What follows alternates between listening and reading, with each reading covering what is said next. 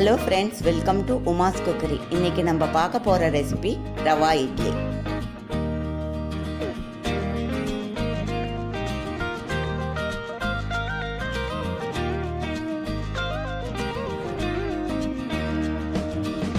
முதல்ல ஒரு ட்ரை பேனில் ரவையை சேர்த்து லோ ஃப்ளேமில் வச்சு ஒரு அஞ்சு நிமிஷம் கை பொறுக்கிற சூடுக்கு ரோஸ்ட் பண்ணிக்கோங்க.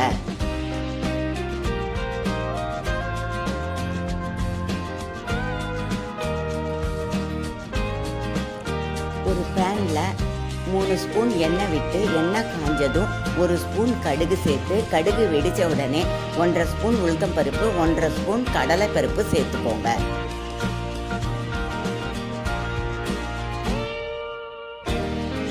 இது ஓரளவு ஃப்ரை ஆனதும் நாலு பச்சை மிளகாயை நறுக்கி சேர்த்துட்டு பொடியாக நறுக்கி வச்சிருக்கிற இஞ்சி ஒரு ஸ்பூனை சேர்த்துக்கோங்க. தேவையான அளவு கருவேப்பிலையும் சேர்த்துருங்க.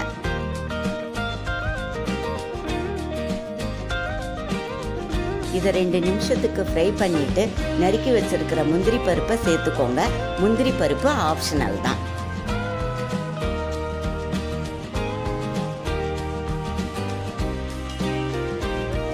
முந்திரி பருப்பு ஓரளவு ஃப்ரை ஆனதும் மஞ்சள் தூள் கால் ஸ்பூன் பெருங்காயத்தூள் அரை ஸ்பூன் துருவி வச்சிருக்கிற கேரட் அரை கப் இதை சேர்த்து கல கலந்து விட்டுக்கோங்க.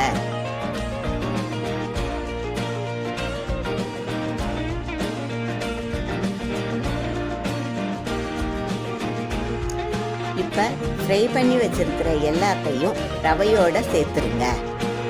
இதோட பல்பெல்லாம் நறுக்கி வச்சிருக்கிற மூணு ஸ்பூன் தேங்காயை சேர்த்து தேவையான அளவு உப்பு சேர்த்து ஒரு பிஞ்ச் பலகார சோடா சேர்த்து கலந்து விட்டுக்கோங்க.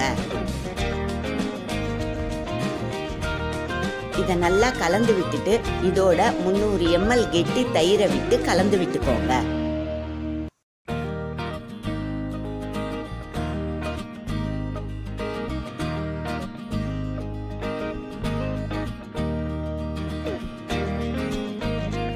இதில் கொஞ்சமாக தண்ணி சேர்த்து இட்லி மாவு பதத்துக்கு கலந்து வச்சுக்கோங்க.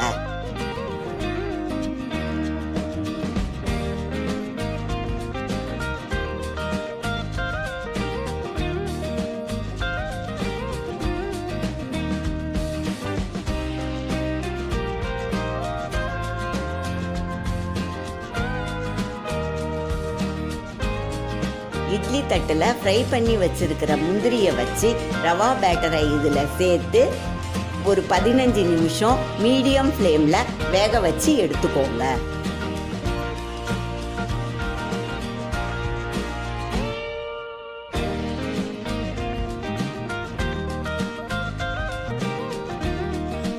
இருபது நிமிஷம் இருந்தால் போதும் இந்த ரவா இட்லியை ஈஸியாக செஞ்சிடலாம். இதுக்கு சைட் டிஷ்ஷாக தக்காளி சட்னி தேங்காய் சட்னி சாம்பார் நல்லாயிருக்கும் இந்த ரெசிபியை நீங்களும் வீட்டில் ட்ரை பண்ணி பாருங்கள் இந்த வீடியோ உங்களுக்கு பிடிச்சிருந்ததுன்னா உமாஸ் குக்கரிக்கு சப்ஸ்கிரைப் பண்ணுங்கள்